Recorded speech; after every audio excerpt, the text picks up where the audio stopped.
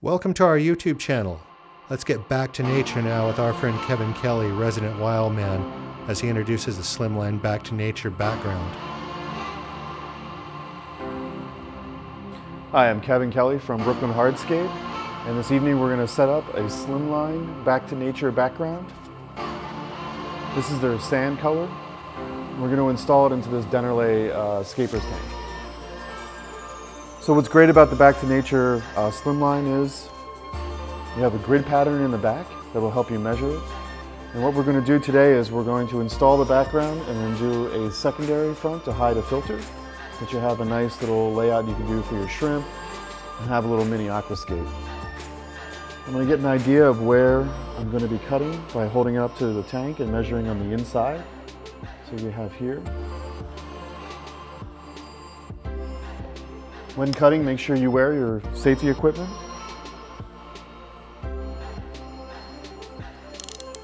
Should only need a, an industrial uh, cutting knife. These are pretty cheap. Once you get a nice little groove going, add a little more pressure.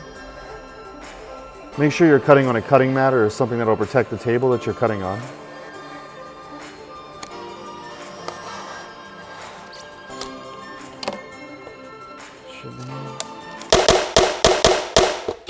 Game begin.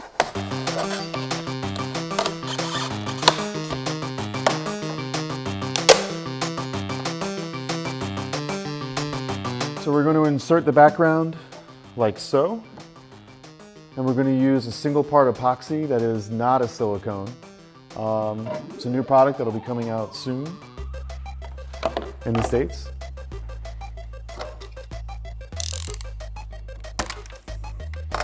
Go.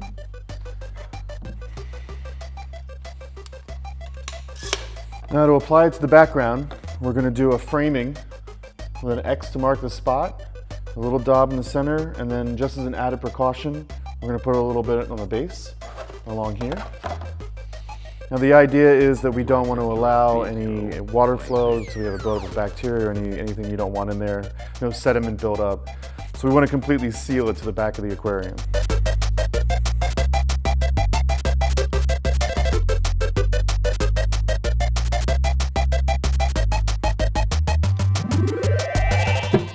Put the aquarium on its side and gently and carefully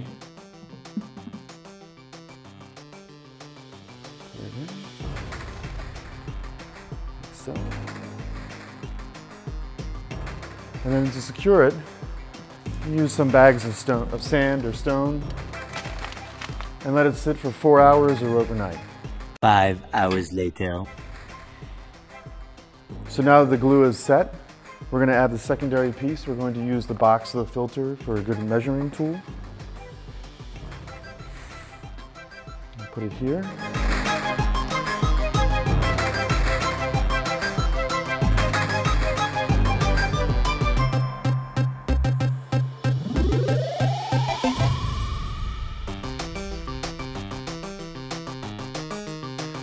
and let it cure for another four hours.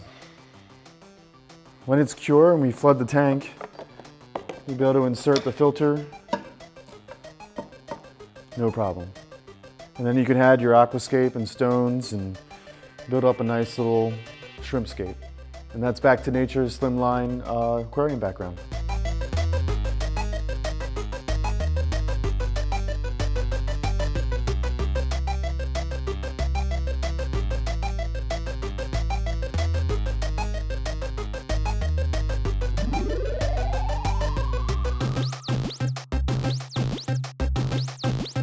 Game over.